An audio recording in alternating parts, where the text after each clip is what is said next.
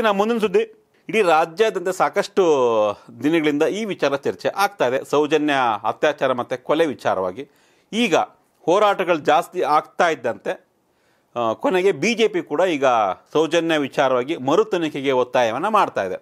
S ಧರ್ಮಸ್ಥಳದಲ್ಲಿ ನಡೆದಿದ್ದಂತಹ ಸೌಜನ್ಯ, ಅತ್ಯಾಚಾರ ಮತ್ತು ಕೊಲೆ ಪ್ರಕರಣದ ಕಳೆದ ಒಂದಿಷ್ಟು ದಿನಗಳಿಂದ ಭಾರಿ ಸದ್ದಾಗ್ತಾ ಇದೆ. ಈಗ ಈ ಹೋರಾಟಕ್ಕೆ ಧುಮುಕೋದಕ್ಕೆ ಬಿ ಜೆ ಪಿ ಕೂಡ ಸಜ್ಜಾಗ್ತಾ ಇದೆ. ಸೌಜನ್ಯ ಪ್ರಕರಣದ ಮರು ತನಿಖೆ ಮಾಡಬೇಕು ಅಂತ ಒತ್ತಾಯಿಸಿ ಆಗಸ್ಟ್ ಇಪ್ಪತ್ತೇಳನೇ ತಾರೀಕು ಬೃಹತ್ ಪ್ರತಿಭಟನೆಗೆ ಬಿಜೆಪಿ ಮುಂದಾಗಿದೆ.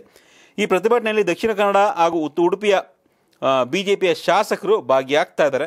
ಈ ವಿಚಾರವಾಗಿ ದಕ್ಷಿಣ ಕನ್ನಡ ಹಾಗೂ ಉಡುಪಿ ಜಿಲ್ಲಾ ಬಿ ಜೆ ಪಿ ಘಟಕಗಳ ಮುಖಂಡರು ಹಾಗೂ ಬಿ ಜೆ ಪಿಯ ಶಾಸಕರು ಬಿ ಜೆ ಪಿ ರಾಜ್ಯಾಧ್ಯಕ್ಷ ನಳಿನ್ ಕುಮಾರ್ ಕಟೀಲು ಅವರ ನೇತೃತ್ವದಲ್ಲಿ ಸಭೆಯನ್ನು ನಡೆಸಿದರು. ಸೌಜನ್ಯ ಅತ್ಯಾಚಾರ ಹಾಗೂ ಕೊಲೆ ಪ್ರಕರಣದ ಮರು ತನಿಖೆ ಆಗಬೇಕು ಅಂತ ಬೆಳ್ತಂಗಡಿಯ ಮಿನಿ ವಿಧಾನಸೌಧದ ಬಳಿ ಆಗಸ್ಟ್ ಇಪ್ಪತ್ತೇಳನೇ ತಾರೀಕು ಬೃಹತ್ ಪ್ರತಿಭಟನೆ ಮಾಡೋದಕ್ಕೆ ತೀರ್ಮಾನವನ್ನು ಮಾಡಲಾಯಿತು.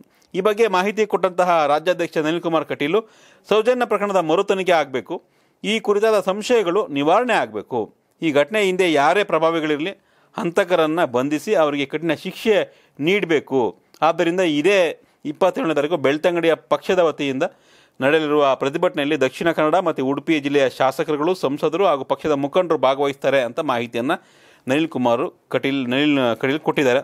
ಸೊ ನೋಡೋಣ ನಳಿನ್ ಕುಮಾರ್ ಕಟೀಲು ಈಗ, ಅಂದರೆ ಬಿ ಜೆ ಪಿ ಕೂಡ ಅಧಿಕೃತವಾಗಿ ಈ ಒಂದು ಹೋರಾಟಕ್ಕೆ ಇಳಿದಿದೆ. ಇಷ್ಟು ದಿನ ಕಾಂಗ್ರೆಸ್ ಪರವಾಗಿದ್ದಂತಹ ಕೆಲವೊಂದಿಷ್ಟು ವಿಚಾರವಾದಿಗಳು, ಪ್ರಗತಿಪರರು, ಸೌಜನ್ಯ ಪರವಾಗಿ, ಅವರ ಕುಟುಂಬದ ಪರವಾಗಿ ಪ್ರತಿಭಟನೆಯನ್ನು ಮಾಡ್ತಾಯಿದ್ರು ಈಗ ಬಿ ಜೆ ಪಿ ಕೂಡ ಈ ಒಂದು ಪ್ರತಿಭಟನೆಗೆ ಇಳಿದಿದೆ.